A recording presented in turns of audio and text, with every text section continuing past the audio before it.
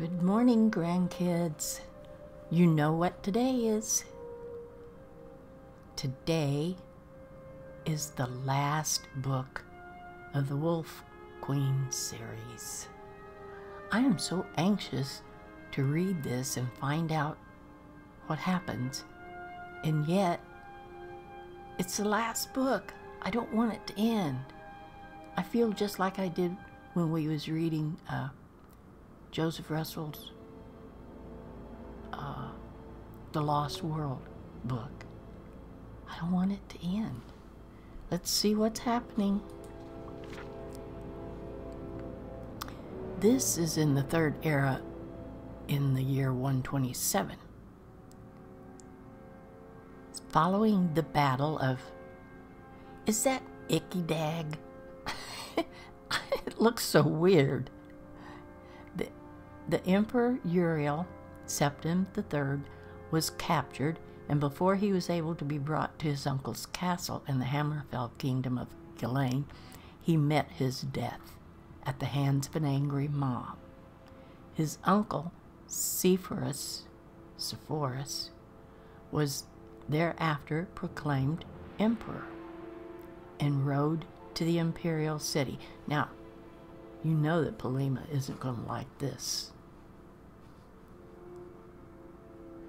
The troops formerly loyal to Emperor Uriel and his mother, the Wolf Queen, Potema, pledged themselves to the new emperor in return for their support. The nobility of Skyrim, High Rock, Hammerfell, the Somerset Isles, Valenwood, Black Marsh, and Morrowind demanded and received a new level of autonomy and independence from the empire.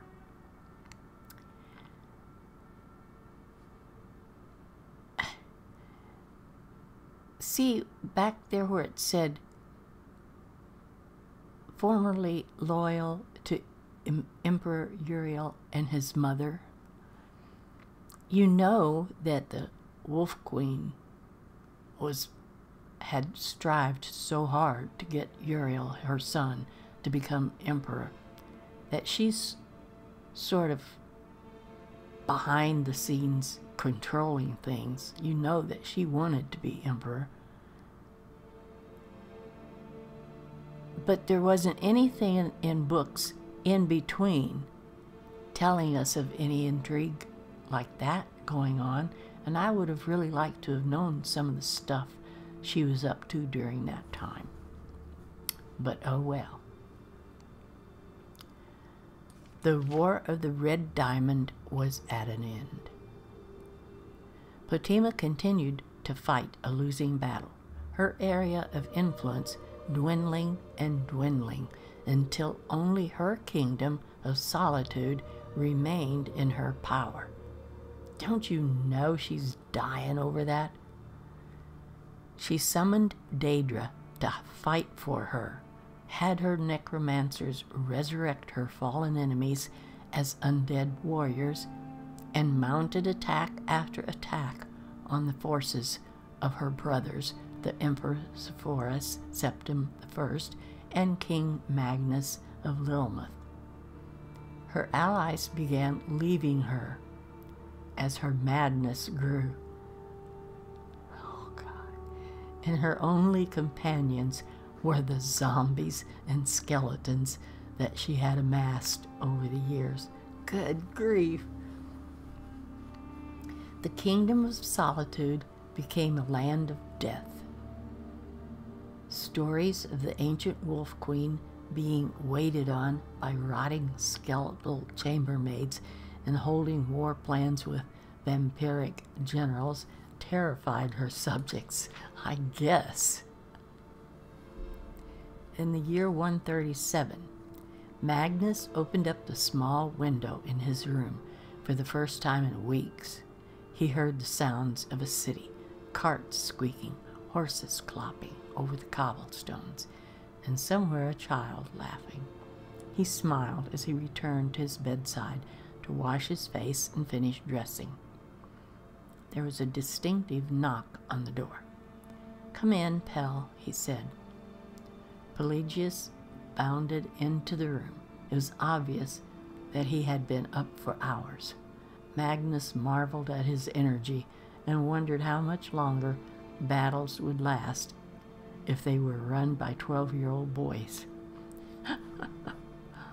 Did you see outside yet? Pelagius asked. All the townspeople have come back. There are shops and a mages' guild. And down by the harbor, I saw a hundred ships come in from all over the place. They don't have to be afraid anymore. We've taken care of all the zombies and ghosts that used to be their neighbors, and they know it's safe to come back. They've taken care of all of them. So, but, so between the end of that page and now, they've killed all of her zombies and ghosts and so on. They're skipping too much in writing these books, I think. Is Uncle Cephorus going to turn into a zombie when he dies? asked Pelagius. Well, I wouldn't put that past him, laughed Magnus. Why do you ask? I heard some people saying that he was old and sick, said Pelagius. He's not that old, said Magnus. He's sixty years old. That's just two years older than I am. And how old is Aunt Potema? asked Pelagius. Seventy, said Magnus. And yes, that is old. Any more questions will have to wait. I have to go meet with the commander now, but we can talk at supper.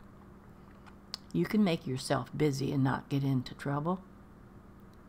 Yes, sir, said Pelagius. He understood that his father had to continue to hold siege on Aunt Potema's castle after they took it over and locked her up. When did they do that? Oh, they haven't. They would move out of the inn and into the castle. Oh, they quite haven't quite caught her and locked her up yet. Pelagius was not looking forward to that. The whole town had a funny, sweet, dead smell, but he could not get even as close as the castle moat without gagging from the stench. They could dump a million flowers on the place, and it wouldn't make any difference at all.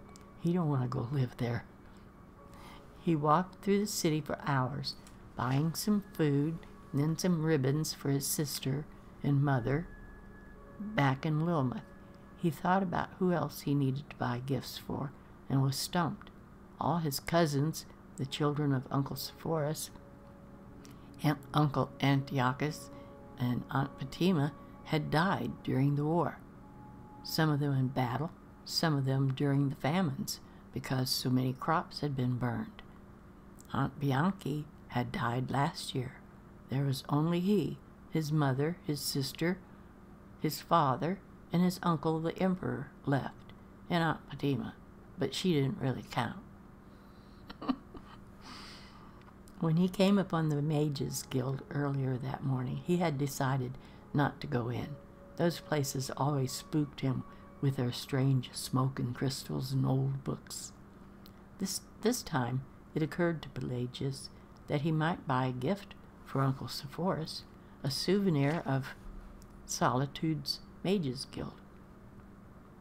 An old woman was having trouble with the front door, so Pelagius opened it for her. Thank you, she said. She was easily the oldest thing he... thing? she was easily the oldest thing he had ever seen. Her face looked like an old rotted apple. Oh my God. Framed with a wild whirl of bright white hair. He instinctively moved away from her gnarled talon when she started to pat him on the head. But there was a gem around her neck that immediately fascinated him. It was a single bright yellow jewel, but it almost looked they left out like, I think. But it almost looked like there was something trapped within.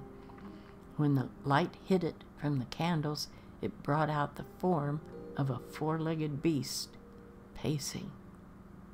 Whoa, she's got something trapped in there. It's a soul gem, she said, infused with the spirit of a great demon werewolf. It was enchanted long, long ago with the power to charm people, but I've been thinking about giving it another spell. Uh oh. Perhaps something from the school of alteration, like lock or shield. She paused and looked at the boy carefully with yellow, dreamy eyes. You look familiar to me, boy. What's your name? Pelagius, he said. He normally would have said Prince Pelagius, but he was told not to draw attention to himself while in town. I used to know someone named Pelagius, the old woman said, and slowly smiled. Are you here alone, Pelagius? My father is with the army storming the castle, but he'll be back when the walls have been breached.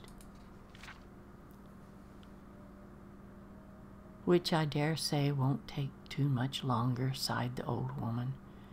Nothing, no matter how well built, tends to last. Are you buying something in the Mages Guild? I wanted to buy a gift for my uncle, said Pelagius, but I don't know if I have enough gold.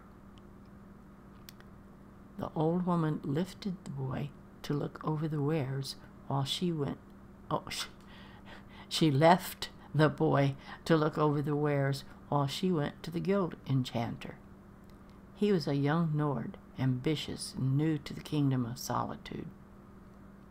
It took little persuasion and a lot of gold to convince him to remove the charm spell from the soul gem and imbue it with a powerful curse, a slow poison that would drain wisdom from its wearer year by year until he or she lost all reason.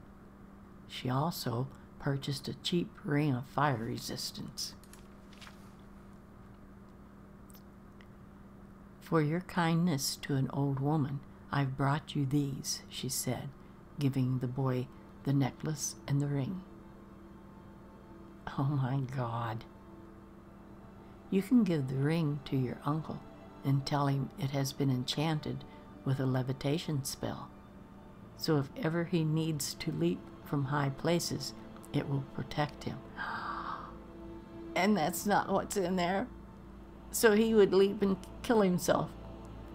The soul gem is for you. Thank you, said the boy, but this is too kind of you. Oh, kindness has nothing to do with it, she answered quite honestly.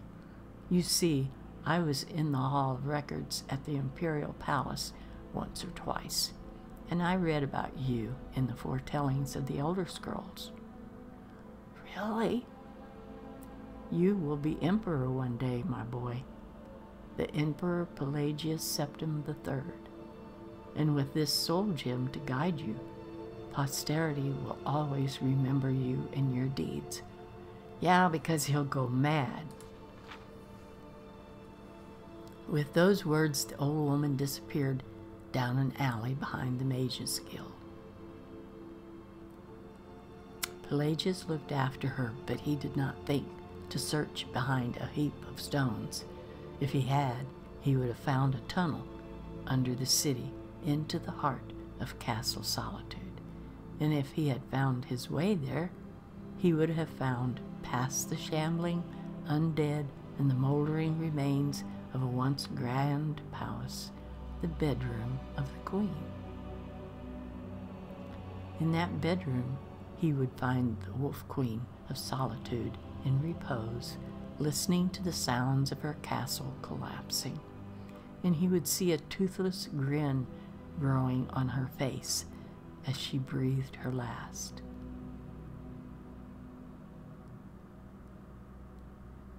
The Wolf Queen, at 70, she toothless. She didn't take any better care of herself than that. And she breathed her last this is from the pen of Isaac Asilicus, second century sage. Third area era 137. Potema Septim died after a month long siege on her castle. While she lived, she had been the Wolf Queen of Solitude, daughter of the Emperor Pelagius II, wife of King Mantiarco, aunt of the Empress Kintyra II, mother of Emperor Uriel III, and sister of the emperors Antiochus and Cephorus. At her death, Magnus appointed his son, Pelagius, that's his boy, as the titular head of Solitude under guidance from the Royal Council. Third Era, year 140. The Emperor Cephorus Septim died after falling from his horse. His brother was proclaimed the Emperor Magnus Septim. The next year, 141, Pelagius, king of solitude, is recorded as occasionally eccentric in the imperial annals. He marries Katariah, Duchess of Vvardenfell, and in 145, the Emperor Magnus Septim dies. His son, who will be known as Pelagius the Mad, is coronated. Good grief. And that's the end, guys. So that's how the, come, the Emperor Magnus Septim died. So he gave the necklace to to Cephorus, and he fell and died. And he has the soul gem necklace that made him go mad. So that's why he became Pelagius the Mad when he was coronated. How weird. And Potema is dead.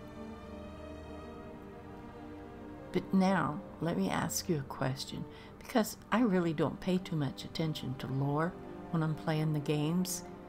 I just, I just play around in Skyrim, make up stories, look at the landscape, take pictures.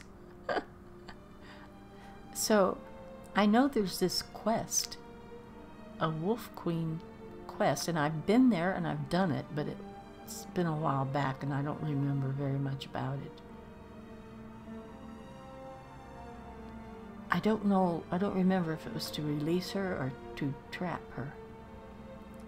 But here she's dead, so what is she there in that quest? I, am going to have to search that out in my big Skyrim Bible and uh, see what that quest is about, I guess. So this is the end of this book. And uh, next Friday, I wanted to read. Um, I want to read The Thief and then the book that comes after that, The Warrior. So, uh, I want to start with the thief instead of the beggar because the beggar is when he was a kid, and and I'm not as interested in that. And I want to I want to know what happens after after he grows up a little bit. So I'm going to start with the thief and then read the warrior, okay? So I'll see you next week. I don't know if this was a satisfying ending or not. I think they skipped a lot of things that they could have made very interesting in a book or two in between here. So, but it is what it is, kids, right? So, this was the end, and I will see you next week with a new story. So bye bye, grandkids.